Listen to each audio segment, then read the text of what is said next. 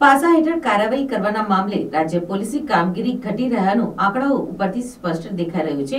તો બીજી તરફ, અન્ય શહેરોની સરખામણીમાં ક્રાઇમ રેટ વધી રહ્યો હોવા છતાં પણ અમદાવાદ પોલીસ પાસાની કાર્યવાહીમાં કાચબા ગતિએ ચાલી રહ્યાનું વલણ જોવા મળ્યું છે. શહેરમાં ક્રાઇમ રેટ વધ્યો હોવા છતાં પણ ગત વર્ષની સરખામણીએ ચાલુ વર્ષે શહેર પોલીસે ઓગણચાલીસ ટકા પાસાના કેસો ઓછા કરવાનો રિપોર્ટ આવ્યો છે. અમદાવાદ શહેર ઉપરાંત અમદાવાદ રેન્જ અને ગાંધીનગર રેન્જમાં પણ પાસાના કેસોમાં ઘટાડો જોવા મળ્યો છે. ક્રાઇમ રેટ વધવા પાછળ પોલીસે પાસાની કાર્યવાહી કરવામાં અપનાવેલી ઢીલી નીતિ જવાબદાર હોવાનું સ્પષ્ટ થઈ રહ્યું છે.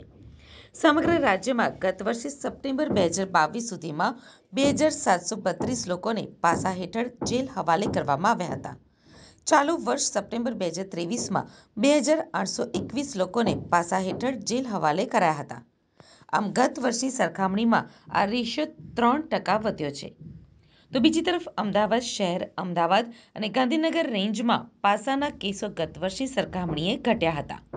અમદાવાદ શહેર પોલીસે બે હજાર બાવીસમાં સપ્ટેમ્બર માસ સુધી આઠસો સિત્તોતેર લોકોને પાસા હેઠળ જેલ હવાલે કર્યા હતા.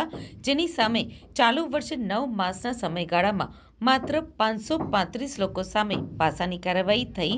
આમ, આ કેસોમાં ત્રણસો બેતાલીસનો ઘટાડો જોવા મળ્યો હતો.